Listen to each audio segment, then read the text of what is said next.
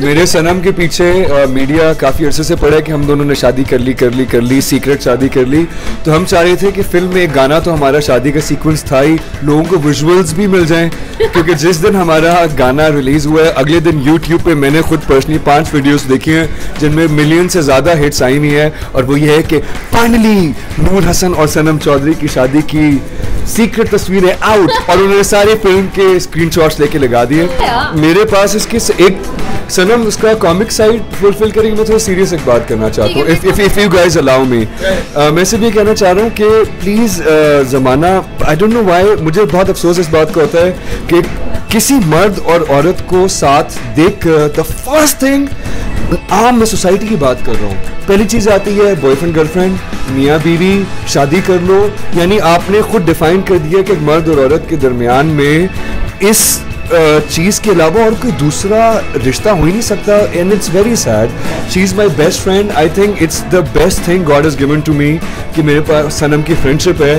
But हमें सिर्फ़ अफसोस इस तरह इसलिए होता है क्योंकि I respect her so much लेकिन आप लोगों को सिर्फ़ एक चीज़ नज़र आती है, दो तस्वीरें साथ, girlfriend and you I, I feel sorry for you guys so please grow up think big think good not I don't know sorry you know what the problem is मैं तो जिसके साथ भी पिक्चर लगाती हूँ ना the person is uh, I'm in love with I don't know what's wrong. Uh, मेरे बहुत सारे दोस्त हैं। हाँ नूर हसन के साथ जब भी पिक्चर लगाती हूँ तो the moment I upload the picture I start reading oh शादी होगी है या शादी होने वाली है? ओ you guys look so beautiful together get married भाई हम लोग दोस्त हैं ज़िंदगी में इसके अलावा कुछ नहीं है बस शादी।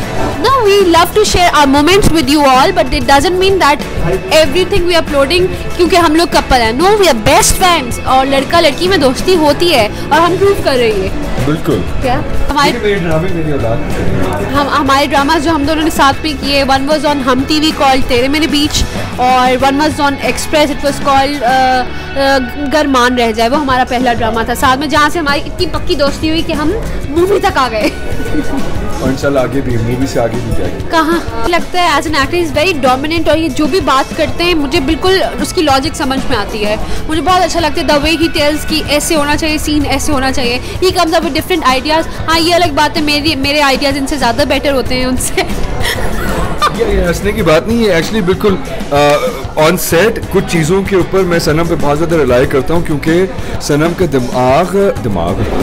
दिमाग टेक्निकली बहुत बहुत बहुत स्ट्रॉन्ग है। इट्स आपको लगा मुझे पता है। योर फेवरेट कलर आपसे क्या क्वेश्चन किए I believe his favourite colour is white that's what I believe you know because इनका जो घर है it's all white white white that's why I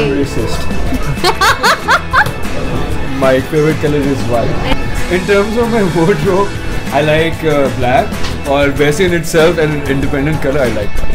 Thank you. और इज़्ज़त रखने के लिए.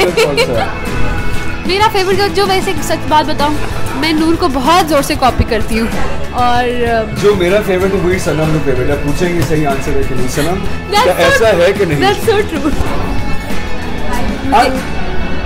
Undoubtedly, the pageant goes to Sanam Chaudhary. I eat a lot. मैं पंजाबी पता हूँ. नहीं कहाँ जाते हैं वैसे मुझे समझ नहीं आता मतलब लगती हूँ कैसे If heroine? I eat the amount of food Sanam eats, I'll be yeah double the size of what I am. But then she burns it, and mashallah, she. Um, हाँ. Sanam the problem ये she doesn't like the quantity of the food. She likes, uh, she has a good palate.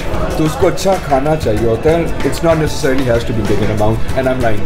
अच्छा हाँ. No, no, no. okay.